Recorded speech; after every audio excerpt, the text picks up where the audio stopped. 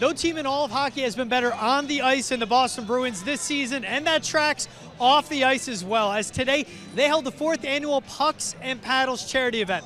Led by Bees captain Patrice Bergeron, it's all about raising money for the Special Olympics of Massachusetts.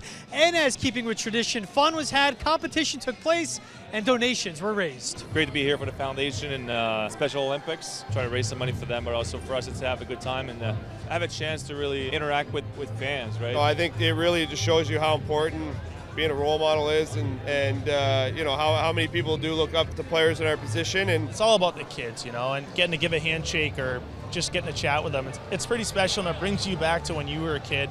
You can make their day, you can make their year. That's what makes playing here so great. And at the end of it all, David Krejci won the entire tournament, but the winners when it came to donations, Derek Forbort and Connor Clifton, each helping raise $10,000 each.